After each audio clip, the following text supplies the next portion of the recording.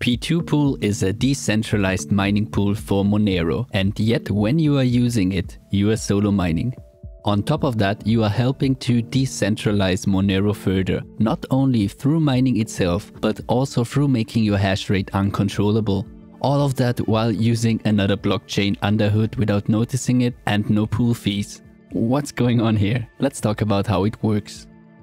P2 Pool is not really a pool. Rather its own blockchain that can have one or more sidechains to the main Monero blockchain. As you know, as a blockchain compared to say a data center, it cannot be shut down. Already one point of failure of a mining pool mitigated. It works by merge mining the P2 pool chain with the main Monero blockchain. We know this process of merge mining already. For example, Dogecoin Doggy is merge mined with Litecoin on the Scrypt algorithm, only that in this case it is not to birth a separate new cryptocurrency, but focus to improve Monero mining. This means when a block on the P2 pool chain is found, it gets checked against the Monero blockchain and if valid, it can be submitted to a Monero node. Here we do more beautiful crypto things by excluding another middleman no pool operator or custody wallet needed that holds funds before a payout is reached. So again, nobody that could be bribed or hit over the head with a wrench or run off with the funds before users ever get paid. And because of that, there can't be fees attached. How does it work that we can get paid with lower hash rate? This was the maybe a bit confusing solo mining yet in a pool part we mentioned. Basically, you can imagine it as everyone mining on the same P2 pool sidechain as working together to solve blocks. If you contribute the shares in a certain window, you will get paid for your shares. It is PPLNS for the more experienced miners. We know those reward systems from conventional mining pools, the big difference here is that even if working together with others to solve blocks, you are still mining through your own Monero node. We can still call it solo mining because individual miners can only control the hash rate of their own node and there is no operator that can direct all the pooled hash rate.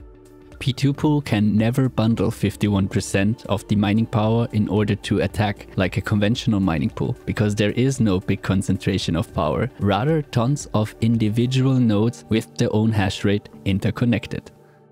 So to simplify, it is not miners connecting to a pool server, it is P2 pool connecting all the miners nodes on the chain. This is the reason why we need to run our own Monero node in order to run P2 pool.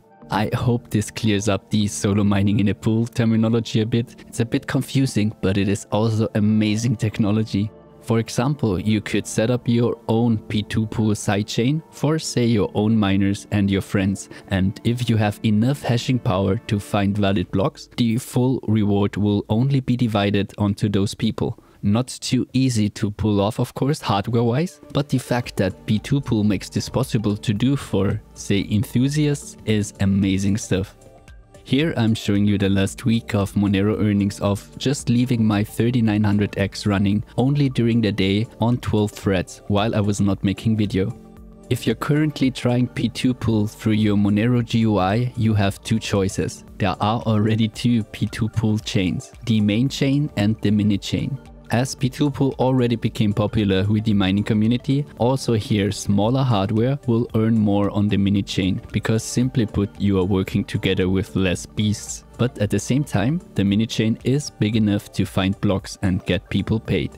Honestly, the fact of seeing something come out of mining alone, even with a single work machine, can make mining and supporting the network feel way more rewarding. There are downsides, you will always need a full Monero node somewhere in order to use it, or know a remote node you trust. You can do this yourself on a server, or your own local GUI wallet is enough too. We recently did a tutorial video on setting the basics up. I'll link it for you in the top right corner. With an ordinary pool, of course, you just need an address, so the setup is a bit simpler, but once you have your own node running anyway, it should not matter anymore. Also another negative, the Monero address you are using to mine with P2Pool will not be fully anonymous by default like it would be just on Monero. Basically your sidechain activity, what you are mining, is public. This is easily resolved though by using an account dedicated to mining and anonymizing your Monero by sending it to your actual storage wallet, but it still needs to be mentioned. P2Pool is amazing technology and I should have featured it way sooner. Today was more of the what because it's pretty unique. In last week's video we set the basics and if you're still in need of a Monero wallet, that's a simple all-in-one starting point to getting your own wallet, node and already using P2Pool from that machine in a very simplified form. As you saw from my trusty O3900X, it works beautifully. There are more ways to use P2Pool than through the GUI wallet. Of course, we will take a look at it in a separate video as well. That's it for today. What is P2Pool?